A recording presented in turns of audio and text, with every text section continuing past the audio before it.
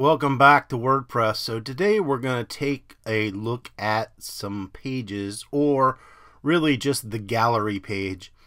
And this is going to stem us into plugins, but let's take a look at the page first. So we're going to go to page and click on all pages. So pages are basically when you have a menu and you click on the menu, you go to a specific page a lot of the time. These are your these are your pages. And so since we're using a demo, it's created some demo pages. Some of these are active and some of them aren't active. But we are going to go into the gallery. So I'm going to hit edit. And this is our gallery page. So what we have here is basically we're creating a photography website and we are assuming these are our images that we love and we want to display on this website. So what I'm going to do is actually come in here and we're going to hit preview and see how this gallery works. So I'm going to hit preview. So this is our web page with our gallery. And so the way this is working is we have some thumbnails in some different, three different columns.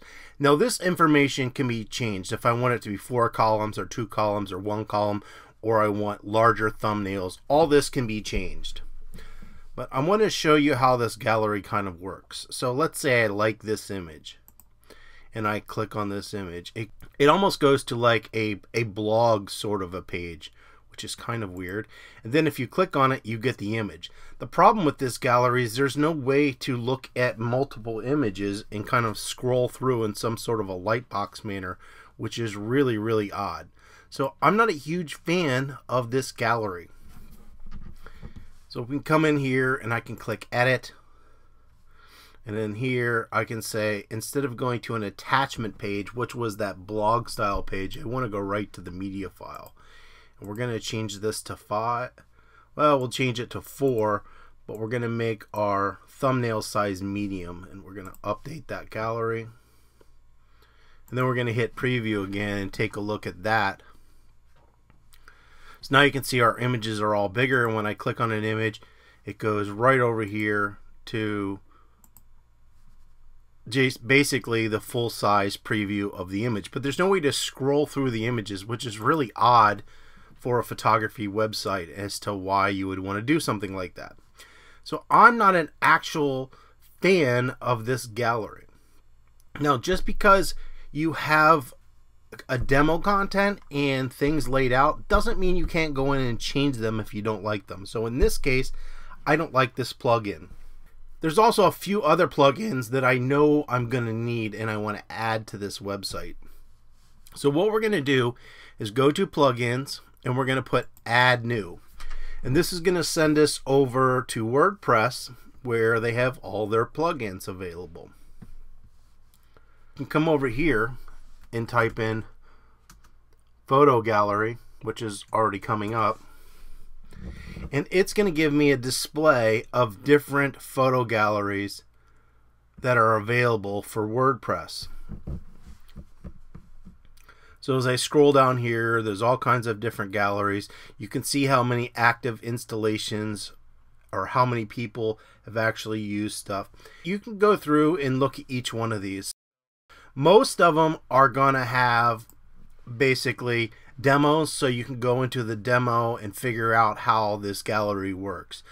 If I wanted to see the masonry gallery, I could come in here and click on this masonry gallery and it's going to show me how the masonry gallery works. So I can click on this image and then I get this image and then notice we get this little slider, which is exactly what I want just like most things in WordPress, remember there's going to be a basic free version, and a lot of times you're going to get paid versions for some of this stuff.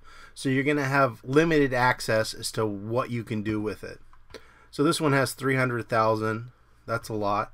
We have this WordPress gallery plugin, which I probably would have used, but it doesn't work with my version.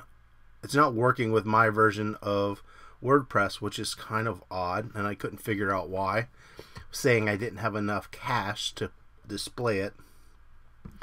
So what we're going to do is just download a gallery. So we're going to go ahead and pick this Robo Gallery for no real reason, just because it's sitting right here.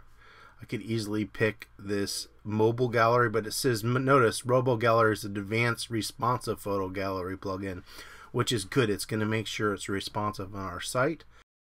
Click install, and it's going to install that gallery plugin. Once it's installed, I'm going to activate it so we have the ability to use it. It's gone right back over to and this is kind of their information site. Notice they're trying to sell you on the pro version, but it's telling you what it does, how it does it, blah, blah, blah, blah, blah, blah, blah, blah. And over here, it's kind of its separate little entity, and it has some settings and add-ons and sortings and all kinds of information that you can get use. So basically, you're going to add a gallery, and then you can manage your galleries. But we'll come back to that because we actually want to get a, another plugin here. So we're going to go to Add New one that I want to have right now. So as I'm working on my pages, I don't have to come back into my pages and do this. And this is what's called search engine optimization. So I'm going to type in SEO. Search engine optimization is basically how web pages get read and found with search engine optimization, you'll see with this plugin, it's going to add some data fields. We are going to put in titles, keywords, and descriptions. Depending on what you put in there, that's what Google or any sort of analytics is reading about your web page to know what that web page or that specific page is about or that single post. And it remembers that. And so when someone wants to search for it, it says, hey, this guy has that information. I'll send you to him. Now, there's two main ones that basically are used today Yoast and All in One SEO Pack. I've used both. I think I prefer Yoast a little bit better. And just like anything, the there's a free version and a paid version. So we're going to add Yoast. And I'm going to go ahead and click install and then we're going to go ahead and activate that after this. Now there's more stuff you need to do as far as settings for analytics. There's uh, probably a Google Analytics plugin that we could add.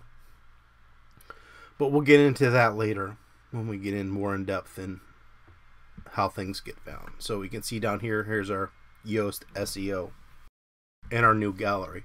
So if we go back to pages and I click on the edit for the gallery.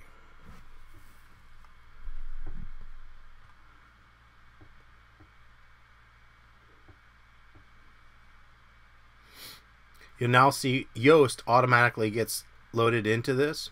And so this is the SEO part of the gallery. This little snippet preview would be like hey, if you went and searched on Google for something, this is showing what that search would would look like. So you have a focus key phrase, which would be a word, and this word should usually be repeated in your title.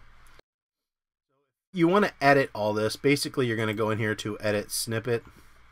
So right here, we're going to add a slug or really sort of a title. So what is this about? This is a gallery, so that's our word. But we want to make sure this is very descriptive as far as what we're searching for. So if you were doing something on beagles, you should put beagle. It would make more sense. And then you make sure when you do your description of what the page is about, that you have beagle in there and maybe a couple times.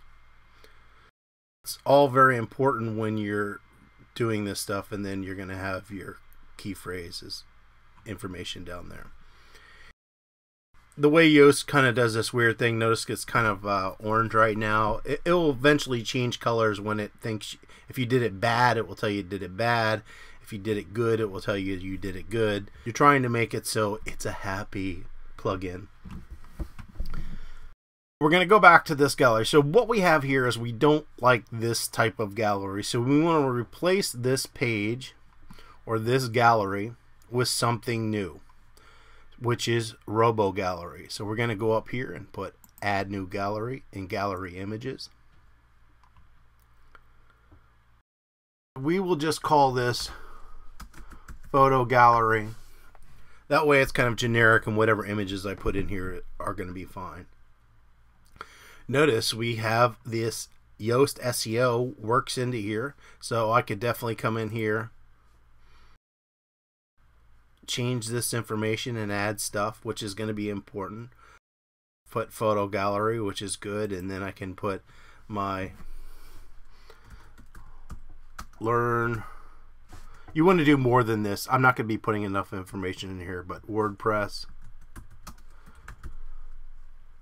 Photo gallery.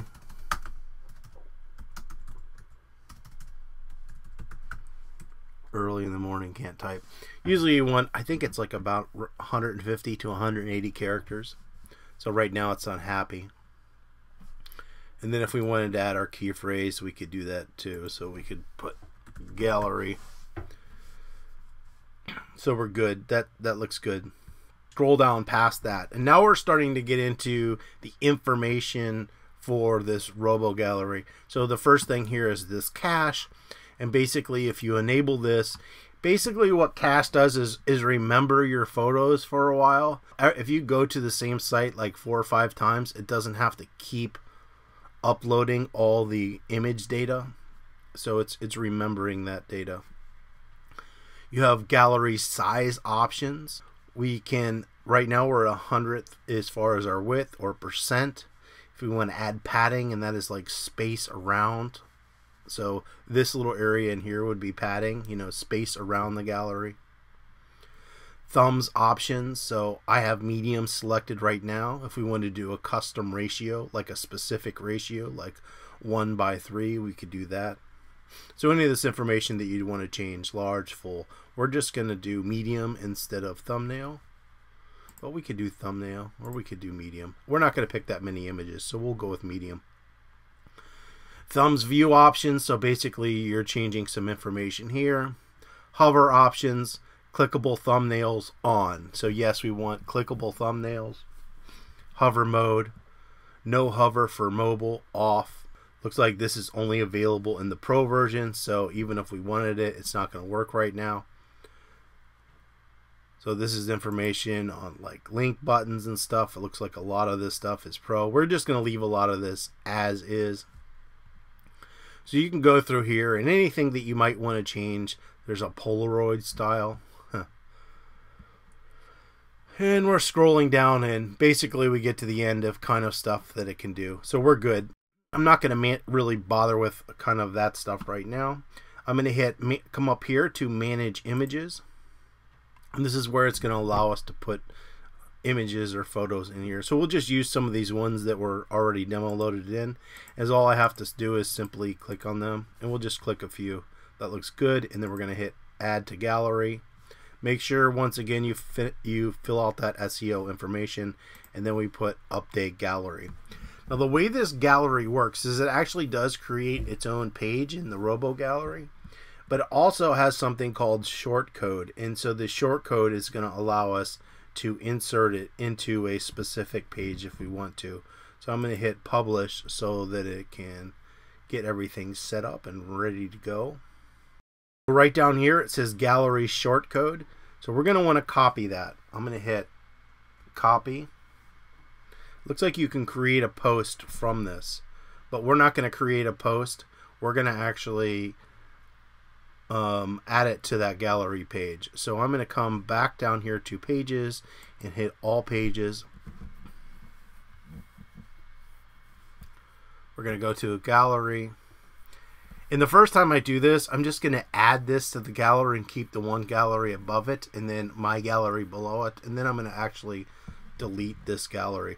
We haven't really gone over this yet, but the way WordPress works now in WordPress 5 is they have something called blocks now. You can still work in the classic mode, but if you want to add a block or add something new to your website, you you click on this.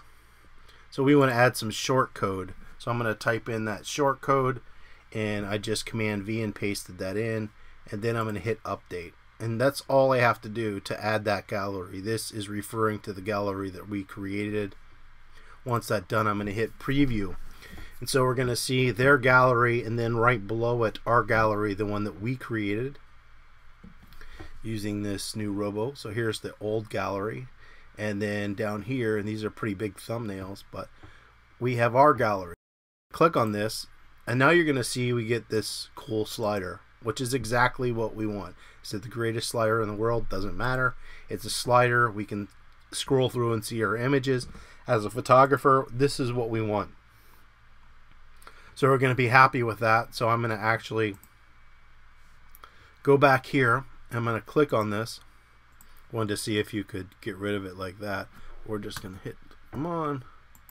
We want you to delete. There we go. You're gone. So that's been deleted. We're going to hit update. Once again, we're going to hit preview.